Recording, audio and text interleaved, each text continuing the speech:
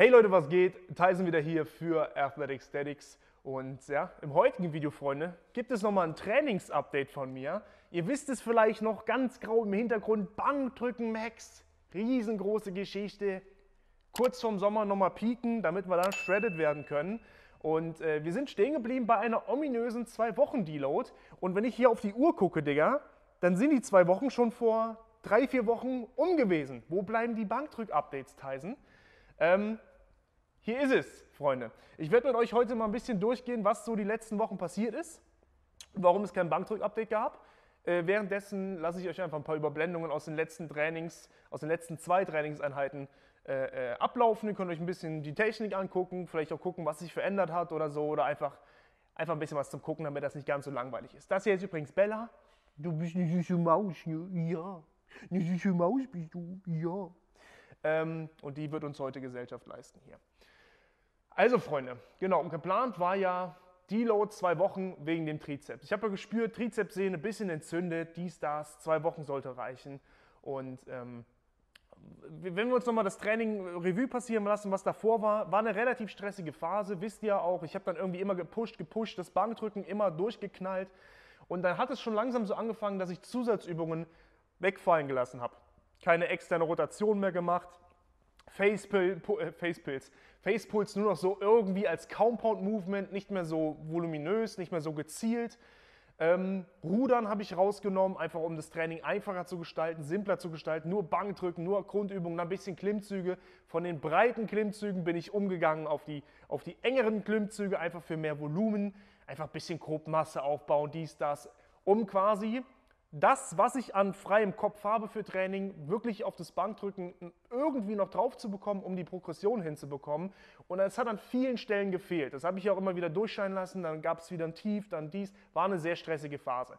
Und ähm, ja, ich habe halt dann Zusatzvolumen und so wegfallen lassen habe dann irgendwann schon gegen Ende gemerkt, manchmal so linke Schulter, da zwickt ein bisschen. Aber im Prinzip das einzige Problem war Progression, Trizepssehne habe ich gemerkt. Dafür wollte ich ein bisschen Pause machen. Und ich habe dann diese zwei Wochen Deload gemacht nochmal ein bisschen weniger Volumen, wirklich nochmal den Kopf frei bekommen. Mir gedacht, ja gut, wenn du schon Deload machst, dann kannst du dich jetzt auch mal ein bisschen mehr auf die Arbeit konzentrieren.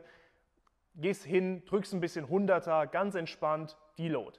Hab nochmal ein bisschen mehr Zusatzvolumen weggelassen und ich habe gemerkt, von, von Einheit zu Einheit, also in diesen Deloads, ich habe hab mir nur ähm, zwei Einheiten pro Woche gemacht, auch aufgrund von dieser stressigen Situation, dass ich halt ähm, mit so wenig Trainingszeit wie möglich durch die Deload komme, um dann wieder gut reinzustarten. Ich habe gemerkt, wie von Training zu Training meine linke Schulter ähm, mir Probleme gemacht hat. Aber ihr, ihr, kennt mich, Digga, hier Schulterexperte, dies, das. Habe ich gesagt, komm, wenn da irgendwas ist, Digga, machst du hier zweimal Knick, Knack, dann passt das wieder. Gar kein Stress, jetzt gar kein Kopf, mich da jetzt drum zu kümmern. Habe einfach weiter meine Deload gemacht. Nächste Woche geht es ja eh wieder los. Und ähm, ja, ich will ins erste, ich will so ein Zwischentraining machen. Also ich habe dann Deload so auf dem 100er Niveau gemacht und ich wollte ja wieder an das 120er, 125er Bench-Niveau anknüpfen. Ähm, und bei einer zwei Wochen äh, Deload ist die Entwöhnung noch nicht so groß. Also der Kraftunterschied hätte jetzt nicht so groß sein sollen, aber viel länger hätte die Deload jetzt auch nicht dauern dürfen, weil ich wollte ja wirklich, ne, also jetzt nicht zu flach fallen von der Kraft, sondern dann wieder einsteigen, dass ich relativ gut wieder, ne, also auf dem Niveau einsteige, wo ich vor der Deload war. So, ich mache so ein Zwischentraining, um nochmal ranzutasten, wie sich die höheren Gewichte anfühlen. So 115, 117 war das, für 4er, 5er sollte das sein. Digga, und ich drücke drei Sätze und meine linke Schulter, Digga, tut so weh, knallt mir so weg. Ich will danach meine Sch Schulterdrücken machen oder Rudern machen. Digga, ich krieg den Arm nicht mehr gehoben. Ich sag, komm, lass. Digga, ein Training, bevor es wieder losgehen soll. Trizeps, alles wunderbar. Picobello, ja. Und meine Schulter komplett am Arsch. Ich fahre nach Hause, will lenken, Digga, ich kann schon gar nicht mehr lenken. Ich kann mit links, ich fahre hier so rechts einarmig. Ähm, ja, einen Tag gewartet, am nächsten Tag umso schlimmer, vielleicht habe ich noch irgendwie drauf gepennt. Ich konnte das Ding nicht mehr bewegen. So, jetzt hatte ich zwei Wochen Deload hinter mir, war eigentlich ready vom Trizeps her wieder und meine linke Schulter komplett entzündet. Ähm, ich weiß nicht, ob ich anatomisch entsprechend anfällig dafür bin, weil ich hatte ja schon immer Probleme mit dem Impingement, warum ich mich eben auch so krass immer mit diesem Thema auseinandergesetzt habe und da auch so hinterher bin und euch die Videos mache. Und man muss einfach sagen, ich habe halt alles, was ich euch immer beibringe, komplett missachtet. Ich habe meine Übungen, meine Schulterdrücken habe ich nicht mehr gemacht aufgrund von der, der Zeit, ne? also schön unten Lower Trap, Seratus, dass das feuert, habe ich nicht gemacht. Ich habe das Rudern nicht gemacht für das Schulterblatt nach hinten. Ich habe die externe Rotation weggelassen. Ich habe die interne Rotation weggelassen. Ich habe einfach nur gepusht, Digga, Bankdrücken, hier Meathead, Digga, gib ihn. So, und das war die Retourkutsche. Wahrscheinlich ähm, war diese Deload auch nochmal besonders schädlich, weil dadurch ja auch noch dieser regelmäßige Stretch, den ich dann durch das Bankdrücken oder so auf der Muskulatur hatte, auch nochmal weg war. Das heißt, es hat sich eventuell nochmal mehr verkürzt, also wirklich Brust, Lat, Pectoralis Mino hat alles nach vorne gezogen, nach hinten habe ich nichts gemacht, Schulterdrücken nicht gemacht und ich hatte auch das Problem, ich muss kurz zwischendurch mal auf die Zeit gucken, ich will euch ja nicht langweilen, ähm, ich habe den Arm bis hier hinbekommen. Ne? Also das war alles so vorne, komplett, ich, ich, kam, ich kam nicht weiter nach hinten, also ich konnte überhaupt nicht mehr öffnen innerhalb von dieser zwei, drei Wochen Dings. Davor war natürlich eine sehr intensive Phase und ich möchte einfach, dass ihr daraus lernt. Und einen großen Fehler, den ich auch gemacht habe, war gegen Ende von, ähm, wo ich die 131,5 für Dreier gedrückt habe, recht entspannt. Ich habe die Technik angepasst, um mehr Gewicht zu bewegen. Das heißt, ich habe nicht mehr im Gleichgewicht gedrückt, sondern ich habe leicht in einem Frontheben gedrückt, weil ich dort mehr Gewicht bewegen konnte, so 1, 2, 3 Kilo. Also alles Sachen, die ich euch immer sage, macht sie nicht. Und hier jetzt nochmal das beste Beispiel. Innerhalb von drei Wochen war meine Schulter am Arsch. Also Frontheben gemacht, wahrscheinlich ein bisschen out of, out of position gekommen, dann auch voll nach vorne gezogen worden, rausgezogen wo, worden, in Anführungszeichen aus dem Gelenk, entzündet. Bam. Irgendwo Engstand, was auch immer, auf jeden Fall. Habe mich auch gar nicht mehr damit beschäftigt, was es war, sondern was war zu tun. Ich hatte jetzt zwei Wochen Deload hinter mir und diese eine Woche, die danach kam, die dritte Woche, habe ich gar kein Bankdrücken gemacht. Und was ich nur gemacht habe, war komplett die Muskulatur, die ich davor halt primär trainiert habe, also Brust, Lat, alles, was hier nach hier zieht, öffnen, dehnen, alles nach oben, zack, in den Schmerz rein, weggedehnt, in die externe Rotation reinkommen, Ellenbogen über Kopf führen, komplett aufdehnen, bam, bam, bam, nur. Dann, was habe ich noch gemacht? Interne, externe Rotation, damit der Oberarmknochen wieder fest ins Schultergelenk reingezogen wird, in Anführungszeichen. Also wirklich, dass wieder die Rotatorenmanschette übernehmen kann und nicht Brust und Latt und die großen Muskelgruppen, die halt dann hier irgendwo am Arm ansetzen, das ganze Ding in irgendeine Richtung ziehen können, die halt auf den Rotatorenmanschette wieder kräftigen, dass das Ding so gut es geht drin sitzt, damit was auch immer da reibt, nicht mehr reibt. Und natürlich, was ich gemacht habe, über Kopf wieder erstmal mobilisieren, reinkommen und dann auch diese Stabilität wieder aufbauen, wie ich euch das letzten Sommer erklärt habe mit dem Schulterdrücken, Schulterblatt ran, etc. pp. Also ich habe quasi eine Woche dann pure das durchgeballert, war dann schon drei Wochen im Verzug und es wurde auch instant besser. Es wurde direkt besser. Ähm, das Problem ist halt nur, wenn du einmal dann eine Entzündung hast, selbst wenn die Ursache vielleicht wieder geklärt ist, das Symptom kann halt auch zur Ursache werden. Das heißt, das Ganze ist geschwollen, es ist nochmal weniger Platz da, dadurch, dass es angeschwollen ist, es reibt nochmal mehr.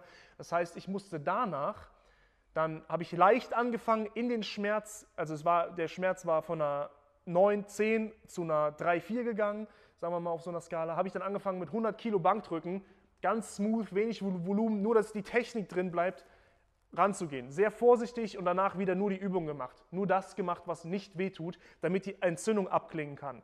Und das habe ich jetzt für zwei, drei Wochen gemacht und dann, je besser es wurde, desto höher habe ich gesteigert. 100 Kilo Bankdrücken, 105 Kilo Bankdrücken, 110 Kilo Bankdrücken, 112, 115, 117, 119. Linear quasi gesteigert jetzt über die letzten drei Wochen.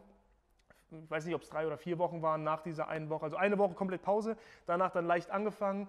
Ähm, Entzündung ist jetzt wieder komplett weg. Ich habe gar keine Schmerzen, ich bin wieder komplett beweglich in alle Richtungen. Aber auch nur, weil ich ganz gezielt direkt in Anführungszeichen wusste, was zu tun ist oder was halt auch dazu geführt hat. Ich habe versucht, es direkt umzukehren und dann die Entzündung abklingen lassen. Und das ist der Grund, warum ihr kein Bankdrück-Update bekommen habt.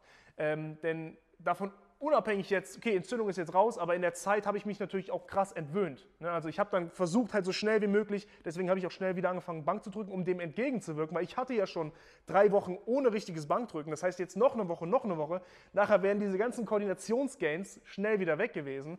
Und ich hatte dann, musste halt so ein Trade-off machen mit leicht in die Verletzung, also in die Entzündung reintrainieren, aber nicht so sehr, dass sie nicht wieder heil, weiter heilen kann. Also es musste besser werden und ich habe genau diesen, diese Gratwanderung geschafft zwischen Entzündung geht runter und ich kann Bank Bankdrücken wieder leicht steigern. Ähm, und auch hier in den Überblendungen habt ihr jetzt vielleicht so ein bisschen was gesehen. Ich habe jetzt quasi wieder den Cycle gestartet ja, und bin mit einer lockeren 120 eingestiegen für 4, also 3 mal 4 und danach 112,5 für 5er. API-Bereich ähm, um die 6 als Einstieg, damit ich wirklich in den Bereich von 6 bis 8 jetzt einsteigen kann. Schön locker, schön smooth. Ähm, die zweite Einheit, die wir jetzt hatten, waren dann die 124 Kilo oder 123,5, ihr seht es ja gerade, ähm, für Dreier-Raps und dann auch wieder Vierer im Backoff. Das heißt, was ich derzeit mache, ist sechs Sätze Bankdrücken, drei schwerer, wirklich Peak, das heißt 4, 3, 2, 2 auf die Woche gesehen und danach im Backoff immer eine Rap mehr und dafür aber auch nochmal einen API-Bereich äh, lockerer, dass ich wirklich jetzt äh, das hier nicht zu krass reize, sofern es noch jetzt gefährlich ist, der Trizeps jetzt auch noch genug Power hat und äh, Luft hat, um durchzustarten. Und äh, ich will jetzt so in sieben, also jetzt sieben Wochen durchziehen. Ich bin jetzt gerade Trizeps spüre ich nichts, Brust, Schulter spüre ich nichts, ich kann Bank drücken, es geht durch. Und ihr seht ja auch die Technik ist nochmal um einiges sicherer und smoother geworden. Ich mache eine längere Pause. Äh, einfach weil ich jetzt auch nichts mehr riskieren will. Ich will das Ding jetzt auch recht schnell durchbringen. Würde ich kein YouTube machen, würde ich auch äh, jetzt gar nicht mehr pieken wollen, aber ich will es halt jetzt wissen. Ich will zumindest jetzt über die 150 kommen. Hoffentlich, äh, dass nichts mehr passiert. Und ähm, ja, das nur als kleines Update. Ihr habt es ja jetzt gesehen, die Überblendungen. Und ähm, warum jetzt kein Bankdrücken kam, einfach aus dem Grund, weil ich wieder komplett hops genommen wurde von meiner Anatomie oder was auch immer. Ähm, ich kann euch nur noch mal mit an die Hand geben, ähm, wenn ihr merkt, es bahnt sich eine Entzündung an, ich habe ja auch am Anfang habe ich es ignoriert, weil ich bin hier der große Schultergott und so, da passiert ja nichts, weil ich kann ja hier Magic so. Magic dauert dann aber trotzdem vier, fünf Wochen, die du einfach an Training verlierst. Ne? Also sobald sowas anfängt ähm, und ihr merkt, es wird schlimmer, progressiv, von Training zu Training, ihr merkt, boah, dies, das, kümmert euch besser schnell drum, trainiert nicht unnötig rein. Hört, also es ist ja immer so dieser Spruch, ähm, do as I preach, don't do as I do oder irgendwie sowas. Ich glaube, ich habe jetzt voll massakriert diesen Spruch, aber im Sinne von, mach das, was ich sage, nicht das, was ich mache.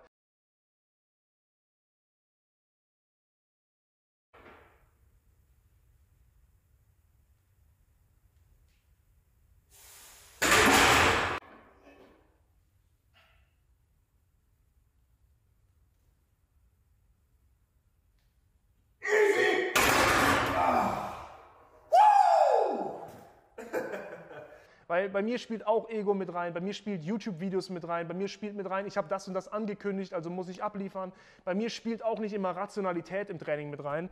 Und ähm, ich konnte es jetzt glücklicherweise schnell retten, dass ich jetzt wieder quasi einsteige auf dem Niveau, wo ich fast aufgehört habe, was eigentlich sehr gut ist. Ich war jetzt entwöhnt, konnt, kann jetzt mit diesem Niveau einsteigen. Das heißt, ich denke auch, dass es jetzt relativ zügig gehen wird. Und als kleine, äh, äh dass ihr einfach nur wisst, was jetzt so ansteht, ich drücke diesen Cycle Vierer, Dreier und Zweier. Davon Vierer, Dreier 50 Prozent und Zweier 50 Prozent. Ne, also quasi die letzten zwei Bankdrücktage sind Zweier. Dass wir wirklich langsam an das One-Rep-Max rankommen. Den kompletten Cycle werde ich das so machen mit leichten Backoff-Sätzen.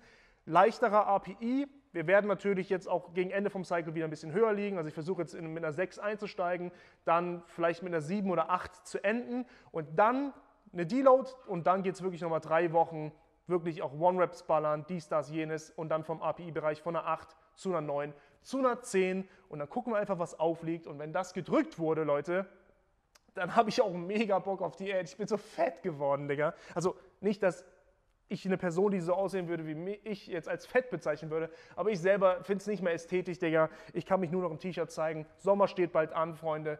Und ähm, ich hoffe auch, also ihr werdet jetzt vielleicht ein bisschen wenig Content sehen, wie, was ihr ja schon gemerkt habt, das liegt daran, im April wird etwas passieren, dass wir echt wieder geilen, guten, regelmäßigen Content machen können und wirklich Videos, die ich schon immer machen wollte, die ich bisher einfach nicht machen konnte.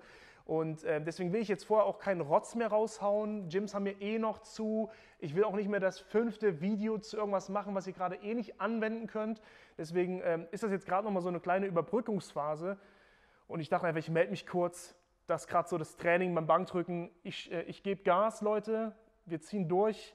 Ähm, und äh, ja, stay safe da draußen, sowohl vor Corona als auch vor Schulterentzündungen und äh, Verletzungen und allem Möglichen. Ähm, ja, aber so ist es. Es passiert den besten Freunden. Ja? Wichtig ist nur, wie ihr damit umgeht. So, jetzt habe ich so viel Blödsinn gelautet, was soll ich noch sagen? Genau, also Videos kommen ab April wahrscheinlich wieder Knüller Müller, auf jeden Fall. Und ähm, ich drücke mir die Daumen, dass mein Training jetzt so weiterläuft. Jetzt werden auch wieder Updates kommen. Jetzt, wo ich wieder trainiere, lohnt es sich auch wieder, dass ihr das so ein bisschen verfolgen könnt. Und ja, Freunde, wir sehen uns im nächsten Video. Bleibt gesund im Moment. Äh, ja, Digga. Freut mich, euch nochmal gesehen zu haben, äh, auf, auf indirekter Basis. Und äh, bis zum nächsten Video. Macht's gut. Peace.